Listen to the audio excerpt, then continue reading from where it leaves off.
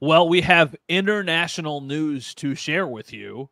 Stefon Diggs has been traded. Sal Capaccio, it's his birthday, and we're giving you an emergency episode of It's Always Game Day in Buffalo. Hello, everybody. Matt Bove at the tropical paradise of Grand Island, Sal Capaccio in the tropical paradise of Australia. What have the last few hours for you been? We'll talk plenty about Stefon Diggs. What was it like? Because you, of course, were asleep through the entire thing and then you wake up like how many texts how many tweets how did you find out yeah. walk me through all of that all right so first of all hopefully can i don't have my normal setup because this is an emergency pod i didn't bring my microphone my yeah. i think the, the the audio should be good hopefully everything's good for everybody they can hear everything yeah you say it's the tropical paradise a little overcast day we've had some great sun and great heat like the last few days but it's a little more maybe might be a little rainy today now, thank you very much. Yes, it is my birthday here. It's not there. By the time people hear this or watch this, it will be. So thank you very much. 51 today and feeling great. Um, listen, I went back. We had a great day on Wednesday, just going around the city, walking around. We did the actually not the city, the um, we did this thing called uh, Point Lookout, North Point Lookout, I think it's called. But it's overlooking. It's it's on the beach. It's just long hike you could take. A lot imagine it's a, it's a Pacific Ocean, right? So it's the same thing you'd see in California or Oregon, where you go on these long hikes right down the ocean. I'm sure you've seen it in you know other places, but here it was just pretty phenomenal to look at. But also there was this big beach we were at, and it's all for me getting to say it was a long day. It was a hot day, but it was a great day. It was very mm-hmm. hot. Get back at night. Time clocks, body clocks still aren't working like great. So I went to bed like around 10, maybe that maybe 10 o'clock. And Matt slept through. I turned my ringer off intentionally because I'm like, people in the United States are so different in time than me. I don't want to be getting texts that people don't know I'm here and I'm getting woken up in the morning. Mm-hmm. Well, sure enough, my wife gets up before me. She comes in at about 6 a.m. and says, Hey, the Bills traded Stefon Diggs. Immediately, I thought, Is this April Fool's? No, it's April 4th. It's not April Fool's. Are, you're serious? She said, Yeah. She said, Everybody's everybody's talking about it. So I sprung out of bed and I realized I'm 12 hours. I'm sorry, I'm 14 hours ahead of you. I thought, what time did it break? What time did it break your your time? 1056. 1056 in the morning. So that means it was 1256 a.m. here, a.m. And I had already been to bed. So I mean, this was sitting there for six hours before I knew because I was dead tired and didn't have my ringer on. I looked I at my phone. Yeah. Go go ahead. Finish your. I'm sorry. I, I looked at my phone. I don't know the number of texts, but all it was was unread, unread. Every I was just scrolling. I'm like, oh my god, and I'm like, so now, and a lot of them were media from around the country wanting to yeah. know thoughts and bring me on. Hey, can you come on to Chicago and Portland, ESPN Radio, and all this stuff? Yeah, and I'm yeah. like, hey, and I, I just I tried to respond to everybody, and it was already late. They're sure they already got somebody. I'm like, hey, I'm really sorry. I'm just waking up. And as I'm doing this, I'm watching Brandon Beane. I'm listening to you and our, our colleagues inside the Bills media room. I'm doing that over the Bills social channels. And I'm trying to process everything as I'm getting with all these people who are texting me, friends, colleagues, and media, and then also listen to Brandon Beane and also kind of digest it. It was just kind of me a lot. It was like getting, punched really quick and hit by a truck in the morning. I couldn't believe it. I was. Have you seen my tweet about? So, so first off, you probably didn't because you got a million things going on. Did you see the "You Sure" tweet from Stefon Diggs that kind of sparked all of the no. conversation? Okay, okay. Somebody Robert told me Griffin there was a tweet. I went back and looked. I didn't see a tweet, but anyway. Okay, so Robert Griffin III posted a video basically talking about was Stefon Diggs essential to Josh Allen and his success. Somebody commented basically like saying Stefon Diggs helped Josh Allen, but Stefon Diggs is not essential to Josh Allen as the player. He's still elite. Well, Diggs responded last night, you sure question mark. Just that. So of mm. course, everybody's talking about that this morning. Because it was such a topic this morning, I posted I wouldn't read too much into it. It's the same thing every offseason. Diggs is still the Bills wide receiver one, and Buffalo is still the best place for him to produce like a top tier talent. I posted that tweet six minutes before the Buffalo Bills traded Stefon Diggs. You wow. want to talk about bad timing? I posted yes. that tweet, and then six minutes later, Adam Schefter broke it. So I've been getting cooked online today, which understandably so. Bad tweet, old takes exposed, all that stuff. Yeah, but- so you yeah, it's just whatever. It's like I, I got to totally own it. I did not think that the Bills were going to trade Stefon Diggs because of the dead cap situation, but I think that's a kind of natural way of getting us into the conversation. I was stunned when I found out, but I've also had the entire day to process it. You just found out a couple hours ago. So what are your initial reactions to this trade? So on your on your first note of what you just said about getting cooked online, of course, right? You yeah, Matt, yeah how many months? How many months have we all been saying they can't do it? The dead cap hit. The dead cap hit. We all said said this. Then, uh-huh. especially uh, when his con- when his salary was guaranteed on March seventeenth, eighteen and a half million dollars guaranteed. They even made more so. Now there were times where I went on the radio and Bulldog and Schopp would attest to this because they've kind of said, "Oh, interesting." I would say something like, "Look, they can do it." But I don't think anybody really believes that they would want to do something like that. Like it wouldn't. Make, of mm-hmm. course they can, and they have yeah. taken on a lot of dead cap hit. But $31 million for a player not on your team seems a whole heck of a lot more than Brandon Beane's ever been. And it's, I think I read Spotrac. It's one of the top 10, top five, six ever dead cap hits for one. Player. Number one at wide receiver. I think, yeah, number, number one, one, at wide receiver. No, what, but but like Russell Wilson, Aaron Rodgers, they had yeah. more quarterbacks. But you're right, uh-huh. number one wide receiver. So I, I was just a surprise for that very reason when I saw the return, and I initially did not see the Bills had given up a couple other draft picks, late picks, you know, but when I saw the second, I'm like, wow, like I didn't think they'd get that either. Like you're gonna do it. Uh-huh. This is look at my initial reaction is this that I don't think Brandon Beane wanted to do this. I think that everything added up over the last few years, and yes, the cryptic tweets, and if you want to call it drama or just the maintenance of everything that goes along with Stefon Diggs, probably became to the point where look, we love this player. We do not want to trade him. But if you knock our socks off and we can do it, like we can help our team going forward for the next several years because we're trying to win a Super Bowl in Josh Allen's window, then we'll consider it. And I think it ultimately probably came down to that, where they got a, a deal here, a second round pick, and probably for a 31 year old receiver, Matt, who was on who tailed off last year. I think that's a really, really good price to get because if you go forward with him, you're not going to get that at any time in the future, probably. And they felt, okay, we could do this. Now, I also think you have to have another plan in mind of what you're trying to do here. There's got to be more to this. There, and it doesn't have to be a trade tomorrow, but there's got to be more about how they envision the wide. They're not making this trade thinking, let's see what happens at wide receiver. They're not making no. this trade, let's see what happens over the next two drafts. To me, they have a plan going forward, and they're trying to stick with that plan and how they've envisioned it. And this is part of it. Yeah, a lot of layers to this. So, Brandon Beane, I was at the Brandon Beane press conference. Brandon Beane can't say this. This is my read on the situation. This is just my opinion. Reading between the lines, I think they were over it. I think that they were fed up with the antics. I think they were fed up with the drama. And I also think that the production that they thought they were going to get wasn't going to be worth the headache. And I kept thinking back to that Bill Belichick thing of it's better to move on from a player a year too early than a year too late. And I think the Bills thought if we move on from Stefon Diggs now, we got to eat all of the salary cap, but we're going to clear up a bunch of space moving forward, and we're getting a second round pick in return. Immediately to me, the second round pick is a moving is a chip that they can use to try and move up in a draft to get a player or to Agreed. combine it with a bunch of other people or even use it to just go out and get a player. So I very much agree with you. I think that there is a plan in place. I don't necessarily know what that is yet, but I would be stunned, even more stunned that they traded Stefon Diggs if they don't use a premium asset on a wide receiver in the draft and if they don't go out and get another higher end talent wise player in free agency or in another draft that they can make. It could be a Brandon Aiyuk. It could be a wide receiver that we're not talking about. It could be a Courtland Sutton. It could be whatever it is and then in addition a wide receiver in the draft. Like I don't think there's any chance they roll into next season with Curtis Samuel as their number one wide receiver. Yeah, that's right. They're not. They're not going to do that. He's not their number one wide receiver, and I don't think he's been no. brought on to be their number one wide receiver. Uh-uh.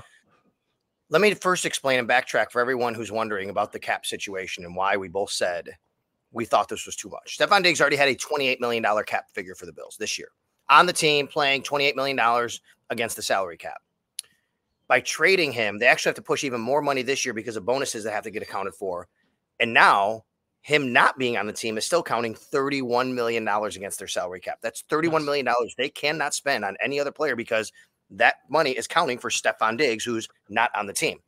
if they had waited till after June 1st, they actually could have only counted about 22 million and then 9 million next year. They said, let's do it all now. So mm-hmm. this move to me really, and Brandon talked about this, correct me if I'm wrong at the press conference, you were there, mm-hmm. how this really opens up flexibility for next year. And a lot of the moves they've made, Matt, have always all pointed to me towards opening up stuff for next year, opening up stuff. It doesn't mean they're not mm-hmm. trying to win this year, but I think they're giving themselves a lot more capability and flexibility. Now that brings in, in, in into 2025 and beyond. That brings in this this draft pick. I I I've been saying for months. I think the Bills move up for a wide receiver. I think now, I think they may move even higher than I thought they could. Here's why: mm-hmm. you get a second round pick next year. It makes it a lot easier to part with your first next year. Yeah. Let's say around right. If you if, if a team's on the clock at five, six, seven, eight, nine, whatever it is. Remember, Julio Jones trade. They went from 27 to six, the Falcons. Mm-hmm. Um, Pat Mahomes, Bills, 2017 trade, Chiefs. They went from 28 to 10, the Chiefs. Like mm-hmm. it's possible.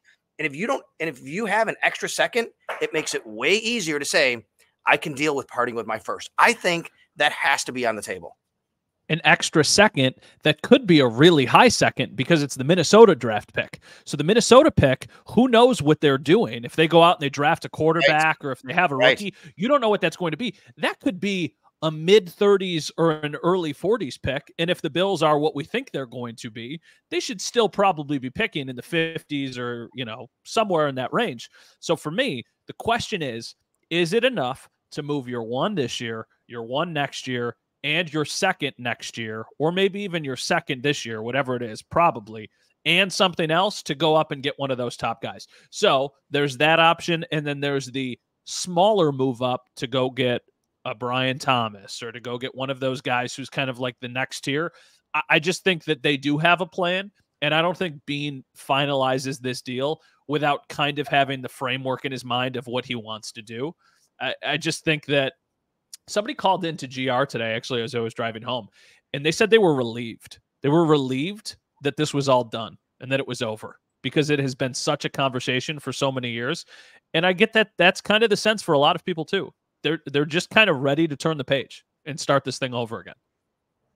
Yeah, I agree with that. And again, I don't want to take away I I want to address a couple things too that were tweeted at me, like because you know we we've all been taking us. Aha, you guys all said this, you said that. You said he wasn't a cancer. I don't think he was a cancer in the locker room. In fact, I think he was a really good teammate.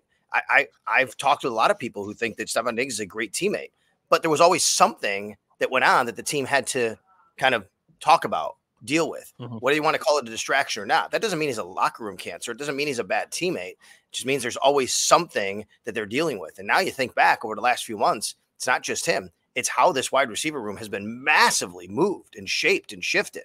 No Gabe Davis anymore. Or they go out and they I don't I don't think KJ Hamler necessarily is gonna, but they go out and they try and turn over that stone. They have they bring in Mack Hollins, Curtis Samuel. Think about the difference in the wide receiver room now versus what it was just a couple of months ago. It seems like to me they went into this offseason and said, We're gonna have to make a massive move in that room. And safety, by the mm-hmm. way, right? This is truly, we talked about this. We talked about this a month and a half ago, Matt, even more. Remember how we said like the new iteration of the Bills? Like now they, they've had this one window. Now they're going to start with a new window. This is really, I think, the defining a totally new Bills squad versus what we've seen in the last seven years. So not only are they clearing cap in the future, they're getting significantly younger. And I think that this is by design. Josh Allen is the exception. Josh Allen is going to be your ride or die for your quarterback for the next five, six, seven years, whatever it is. He's going to be the guy that you need to get you to where you're trying to go. But look at what they've done at corner. Look at what they've done at safety. Look what they've done at wide receiver. Look what they've done all across the board. Like the new core of this team are guys like Josh Allen, probably James Cook. Well, I don't even know if it's James Cook, but Dalton Kincaid, Taron Johnson, Dion, like these are the guys that are now kind of the next wave. You have some carryover from Josh, from Dion, from guys like that, but they are getting younger at all of these positions because I think that was an emphasis for them, and they're still trying to open up salary cap. I think the Stefon Diggs thing is interesting because you can be shocked and stunned that it happened, and also understand why they did it. I don't think that those need to be different. I, I think some people are like, well, how can you be shocked and then make the argument that this makes sense? I'm shocked that they did it. I think they're a worse team right now than they were, but I also do think that they have a plan. and also think that this could help them long term. So, you know, there's a huge range of emotions here, but I get it. And just from sitting in the room 15 feet away from Brandon Beane, I got the tone the tone to me sounded like they do have an idea what they're trying to do. I didn't yeah. get the sense that he was like decimated or like some of the people on social media who have been like this doesn't make me more confident or I don't really know what they're trying to do. I didn't get that sense at all. I got the sense of like guys pump the brakes. It's April. Nobody's going to be talking about us like this if we trade up and get Malik Nabers and then go sign some other guy right. at free agency. Like nobody's going to be really panicking. So ask you this. Certainly it makes the next few weeks very interesting though. For all I know, he could have been traded while I'm in Australia, but I don't think so. Do you think Tee Higgins is at all on the table? No, because then Tee Higgins would have to get a contract. Right. I agree I with that. I don't think Tee Higgins is necessarily. It, it's weird because this kind of crushes the narrative that an AFC team wouldn't trade a star player to another AFC team that's a contender because I never thought if the Bills traded Stefon Diggs, they would be trading him to the Houston Texans, a team that's right. really good with a young quarterback in the AFC. I thought they would be sending him to like, hey, guess what, Steph? You're an Arizona Cardinal. Congratulations. Go enjoy right. your time with whoever is Kyler Murray. Go do that thing. But clearly, if the second was the best thing that they could get, they don't ultimately care. No, I don't think T. Tee Higgins makes sense. Brandon Aiyuk is fascinating to me because it feels like you would just be doing the Stefon Diggs trade all over again. But I don't know. I don't know if they would do that. Would you trade your first this year for Brandon Aiyuk? I don't think so. I'd rather I'd rather use the first on a young guy. I think the contract point is the point here. They they have mm-hmm. made would it, it wouldn't make sense to suddenly put all that money back into wide receiver on the books that you just cleared over the last. They didn't they didn't resign Gabe. Gabe got 13 million.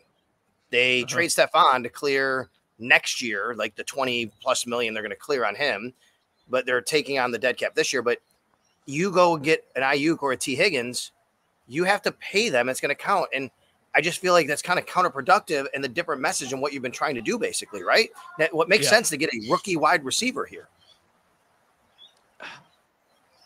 I don't disagree. I I don't. Although I'm, although I don't think rookie wide receiver. That's a dice. I've I've said it. and I'll say it again, Matt. You go in next year if a rookie is your number one, woo, baby. Okay, like you better you better pray he's really really darn good. If you're drafting someone, I don't think you can go in banking on a as a as a rookie as your number one.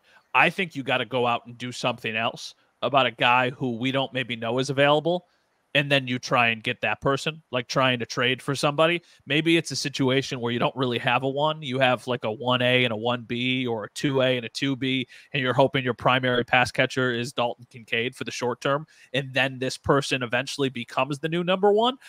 I don't like, let's say, to me, the most realistic option that they could draft is Brian Thomas right? Like it's not one of the top three guys. It would still require a trade up, but it seems like it's attainable. It seems like it makes sense, and the type of player would fit Buffalo. Here's one for you Brian Thomas had 17 total touchdowns last year, 17 receiving touchdowns. All of the Bills wide receivers combined had 19. I know we're talking about the NFL and college football, but 17 touchdowns in college football is pretty freaking impressive. So to me, it's like, what if you have Brian Thomas? Then I think what you need to do is you need to go out and add another guy to be here for a year or two and then eventually let him ultimately take over. The only way I think a rookie is your number one next year is if you really take a big swing. Like if you get Malik Nabers or Marvin Harrison or Odunze, like that's the exception. I still just think though that might be a little bit too rich for the Bills' blood. How about from the Texans side? This is a big deal for them. They do get a 31 year old receiver. I think Stig will be 31 this year, right during the season. He'll be um, 31 um, in November. Yep, and you know they get him to pair with C.J. Stroud in that dynamic offense they already have. Um, they're trying to win with with their rookie quarterback. Their I'm sorry, their quarterback in his rookie contract. They're trying to win now, and good for them. That's exactly mm-hmm. how they should play it. This makes sense for them to make a move mm-hmm. like this. And by the way, it's starting to rain. I'm actually getting a little bit wet. If you hear that and see that, that's probably that's what you might even get it on a little bit on the camera there. This is this the new laptop? We don't want to ruin the new laptop. No, it's all good. I'm good. I'm covered here, but I'm seeing you might get a little missed. I think for the Texans, it is a smart move.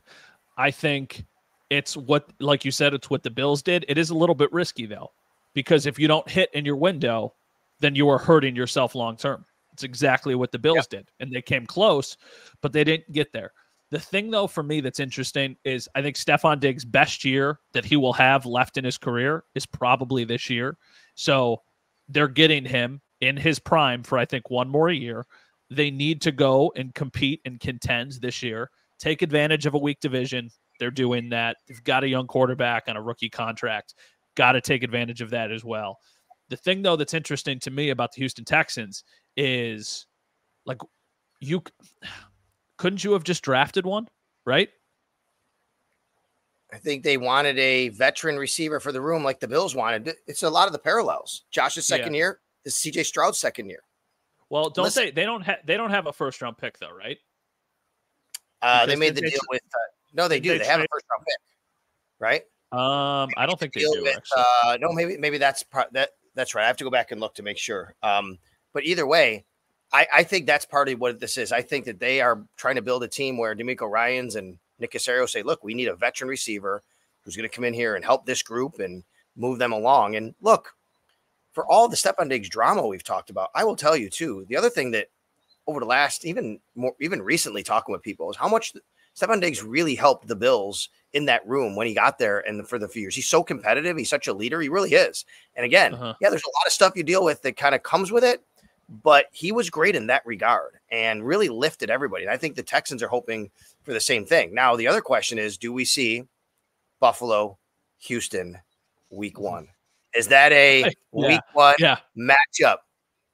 Yeah, I, I could totally see it. Also, they have two second round picks, by the way. They don't have a first, so they have two second round picks. So, you know, conceivably there would have been somebody available in the second round that would have been good for them. I, it would be really, really spicy, but at the same time, it would play as spicy. And I, I, for me, that like screams Monday Night Football. That game just like screams right. Monday Night Football to me. And I don't think they would start the season on Monday Night Football back to back years. We'll talk to Mike North about this when we talk to him. Yes. I, ju- I just, yes. I, I, I don't know. I feel like this year the Bills get a little bit of a dud starter because they've been on such a heater with these games yeah. the last couple of years, right? Like, I don't know. Are they really going to start in prime time three years in a row?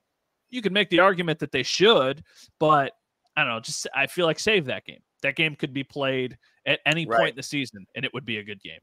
I, but it's, it's going to be really interesting. Now they have Jacksonville on the schedule with obviously mm-hmm. Gabe and Mitch Morse. They have Houston on the schedule with obviously Stefon. There's a lot of uh-huh. a lot of the, those storylines you know they get baked in here. So, um, anything else that I missed since I've been here, and we can kind of try to wrap up here the last several days. Um, no, the- nothing that nothing that you missed. I I do think that the Bills have a lot of work to do, but I also think it's important to know, like they know that. I think they realize that they've got a lot of things to figure out. So Brandon Beane said after a move like this, eating the new, the three million dollars more, they have about three million dollars in salary cap space. So they don't have a ton of room right now. That's to account for the players that they're going to have to replace and the draft and all that stuff. So it's not like they could just go out and sign a big free agent right now. What I think we're going to see is if they're aggressive in the draft, I think we see that. And then when they get the added $10 million from the Tre'Davious White move in the summer in June, then I think we could see them go out and add a veteran. I, I think like I know he's not available now, but I think like DeAndre Hopkins was signed at that point last season. Maybe we're talking about something very similar to a type of move that they could make. I'm surprised, but as the day has gone on, the surprise has worn off a little bit. And I don't think that's just from a time standpoint. I think it's just from a starting to logically think about all of this and hear Brandon Beane talk. I, I kind of get why they did it. Okay, so Brandon Beane said today, because of the added extra three million from the trade, they now have about I think he said in the threes, four million dollars. In the th- okay. he's like in the threes. Let's let's talk and retalk about how we interpret that to be said. Okay, because we yes. had this debate. To me, that means right now, just right now, they have three, let's say four million dollars in cap space. Right now, they have four million mm-hmm. dollars uh-huh. in cap space. On June first, they're going to have fourteen million dollars in cap space. Also, around June first or so, they're going to have to sign their draft picks, which are going to cost probably about four million dollars. That's how I interpret uh-huh. it. Yeah, that's how I interpret it after hearing how he said it today as well. But he also said there's things we can do to clear up a little bit more. Okay. And he also said so he said that and he also said like be assured we're going to turn over every stone to try yes. and find guys that we're going to roll in, you know, he's like we're going to roll out a damn good football team in September. And the reason they're going to roll out a damn good football team in September is because Josh Allen's their quarterback. The national narrative from so many people today of like the Bills window, it's the same thing, but just elevated to a whole new level after they cut Trey, after they cut Mike, yep. or not cut Micah, uh, but Jordan and Mitch Morse and all these people. It's like, oh my God, the Bills are going to stink. More people who are saying, hey, the Bills are going to stink. You know who doesn't think they're going to stink? The odds makers in Vegas. And if you've ever been to Vegas, look at those casinos and those hotels. They don't lose money very what do they often. Have to trade? Did you look? They were the same as they went from like plus 550 to plus 750. They're still the favorites to win the division, and they right. have the same odds as the Houston Texans, who are now going to be the sexy pick for everybody in the AFC. I think they have like yeah. the fourth best odds in the AFC to win the Super Bowl. I think it's like Chiefs, Ravens, Texans, Bills or do something remember, like that. Do you remember? Um, also, the other thing I've been getting is Bengals fans going back to that quote from Beane a couple years ago. He said, "I don't want to have to suck bad enough to get Ja'Marr Chase." And yeah. Bengals fans are like dunking on the Bills for that today. I'm like, why? They're not going to uh-huh. suck, first of all. And if they did have to, they did get a guy high in the draft. It's not because they're drafting there; it's because they're going to trade up to get it. Yeah, I think that this is the little bit of Brandon said today that this is not them taking a step back. This is not them resetting. This is not anything like that. But I think they're sneakily doing that. Like, I think they still want to be competitive, but they also want to free things up so they can be more aggressive in the future instead of shopping at all the bargain stores like they've had to for the last couple off seasons. Besides Doesn't the Von Miller move, 17 a little bit. No, because they still have an elite quarterback and they still have. Right. Uh, but I mean, like, but I mean, they said when they said when they traded Sammy and Ron Darby on the same day, and they're like, I don't know why everybody says we're tanking. We're actually trying to help ourselves win, and we think we can do that. Like it's the same messaging.